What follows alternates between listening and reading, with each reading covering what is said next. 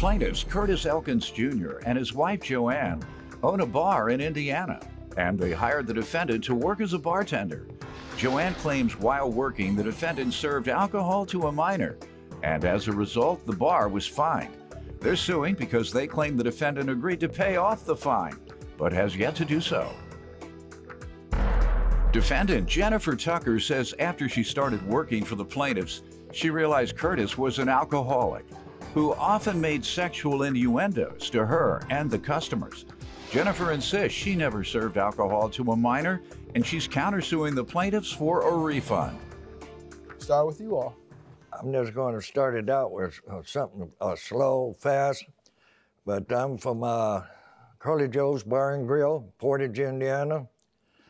Uh, I run uh, Curly Joe's Bar there.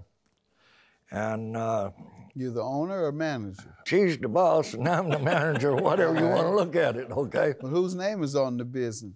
Who owns it? My it? name All is. Good enough. Mm hmm But you know, it always says, That's right. Who's She's got the boss. money? The woman's women got the money. boss. That's right. okay? But like I'm going to tell you, well, I come in one morning and she says, "We hired a new employer." Okay, and uh, her and the bar manager. Well, I got rid of that bar and then uh, hired myself. But you know who gets the the tongue lashing, don't you? okay, so I tried to give it up. So I lead it over to the boss. Okay. Plaintiffs Curtis Elkins Jr. and his wife Joanne hired the defendant to work at their bar. And they're suing because they were fined as a result of the defendant serving alcohol to a minor. Go ahead. So um, in August of 2015, we were in need of a bartender, and uh, one of our employees actually recommended Jen- Jenny, we call her Jenny, Jennifer for um, for employment, and our bar manager interviewed her, and she was hired. I didn't actually meet her till maybe a couple weeks after she'd been working, and um, and when I did, I welcomed her to our Curly Joe's family. We kind of look at it like that. We're kind of like Cheers. Our bar is Sure. everybody knows everybody in there, and um, and I thought she was kind of quiet, very sweet girl, kind of young for the for this bar, but um, still, I thought she would be a good employee. Um, little by little, little things were left undone.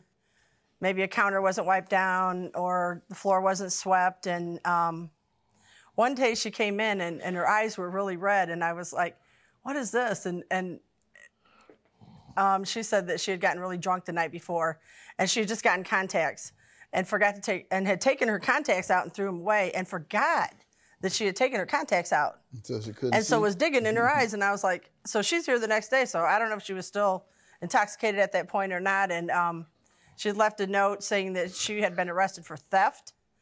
Um, and I just don't think Why that did she she took leave you that note? She had she had Because to call in. That'll probably end up coming up a little bit later about why she couldn't She make some- some payments on here because she had some bond issues to pay and um, She was a good worker. Other than that, sounds like Well, you had a couple of strikes so not, far. not too bad. She came in a little bit late. Maybe her car wasn't couldn't wouldn't start, or had to call off for going to the doctor, or take care of her dad, or. But at that point, I think she was only working maybe one or two days a week. Mm-hmm. Um, I don't know. I go to I go to work every day. I, I it's hard for me to call off, but um, okay, let me late hear from work, her. Give me some background, ma'am. I started working for them in October, and soon after, or August, soon after I started working for them, I realized that Curly had a drinking problem.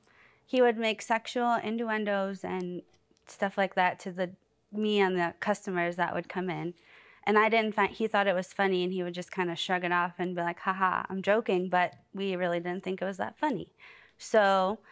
Um, How did things go other than that at the Um, workplace? I worked like I started out one day a week and I went on to two days a week eventually. That's all I ever worked. I had another job that actually paid Got my it. bills. Um, Ma'am, did you know that? Because Oh, you yeah. suggest the woman didn't have good work ethic.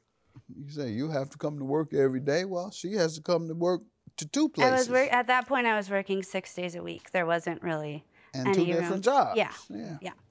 So um, He actually had told the customer's wife that he was cheating on her with another woman, which was never true.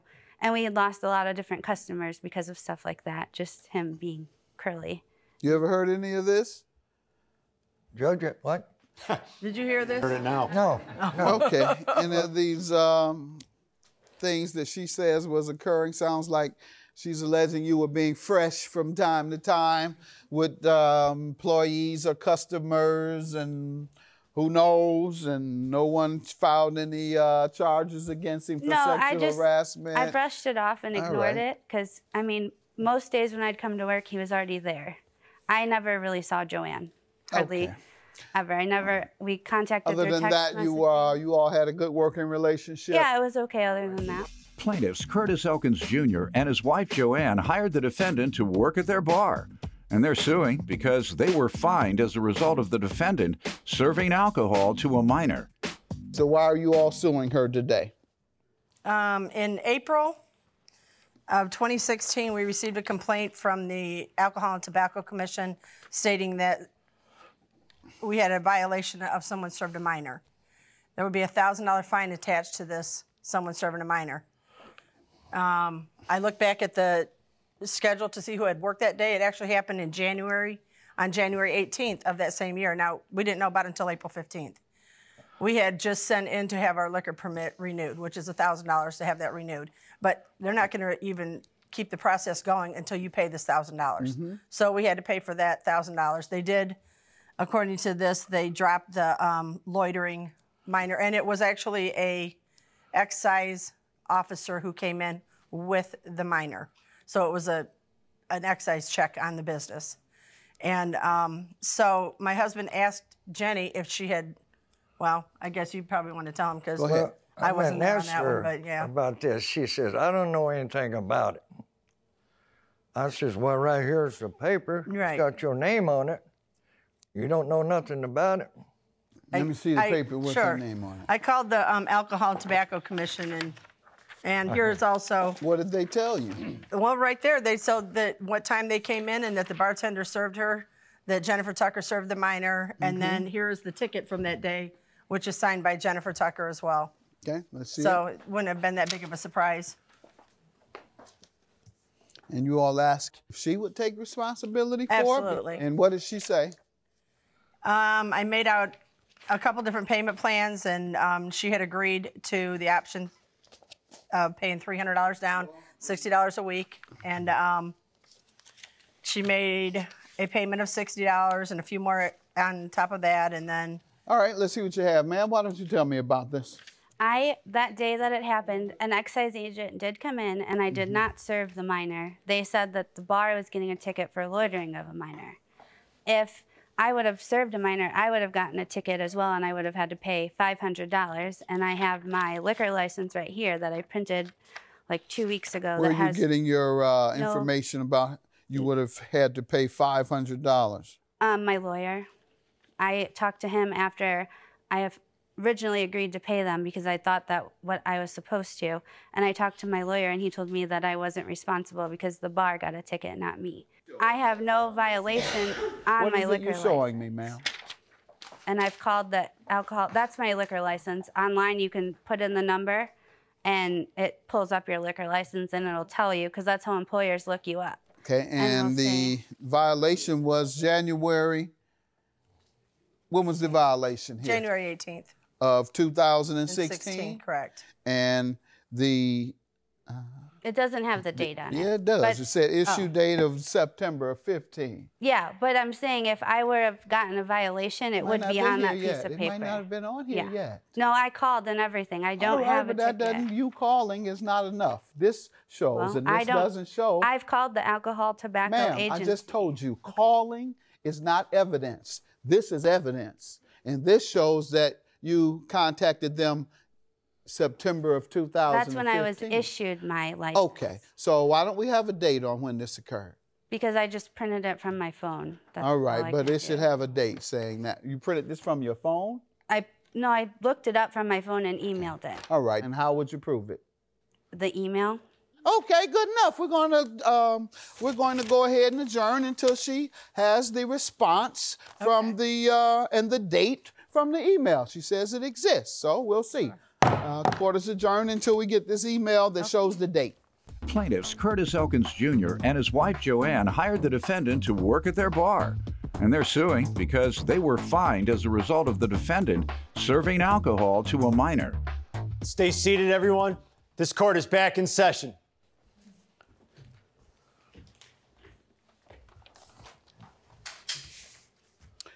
All right, ma'am. So you say after the ticket for the liquor violation, serving a minor, The ticket um, that I never got. Yes. Mm-hmm, that you never received one.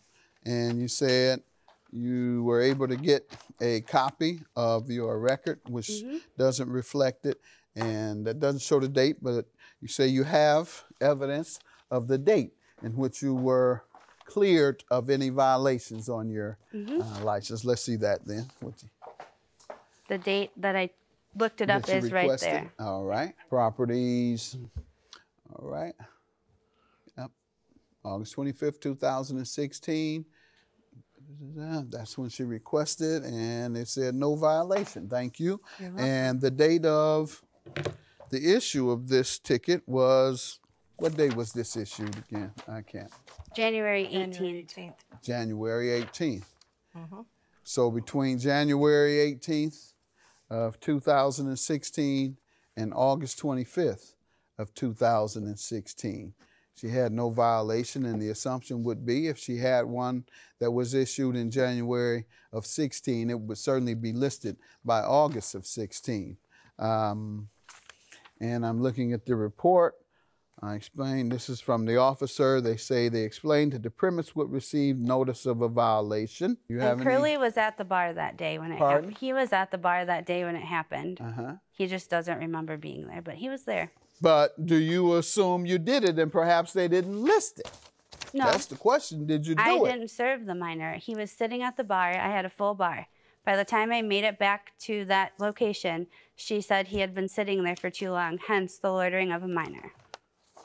They didn't issue her a violation, And I spoke to my lawyer, and he told me that it's not my responsibility to pay their ticket. If I would have got a ticket, it would have been I wouldn't have made them pay my ticket. My current boss told me the same thing. Yeah, that's my understanding of the law with regard to liquor licenses. However, they're suggesting that you agreed to contribute to it, I- to payment of it. I agreed at first because I didn't know my rights, and after I Mm-hmm. Talked to my lawyer, that's when I stopped paying because he and told that's me your I had- refund you're asking for for two hundred and forty dollars because you paid unknowingly. You paid under the assumption that what your boss told you was true. The way they worded it made it seem like I had to pay it. I didn't know if they were going to fire me. I, I, Mm-hmm. Okay. I honestly didn't. You have something in writing. They present it to you. Mm-hmm. Just see it. What do you all say to this? Mm-hmm. A bar, an inanimate object, cannot serve a minor. I understand. A person has to- Tell the law that because the law is that the establishment is responsible. Go to your legislature. Well, You tell them that and see how that works out for you. In the meantime, I am going to conclude that she is not responsible. Secondly, she says she paid under the assumption that she would be responsible until she spoke with someone who told her differently. And whomever told her differently told her right. She is not responsible. You all are. Um, her refund is granted for $240, and your case against her is dismissed. Have a good day, folks.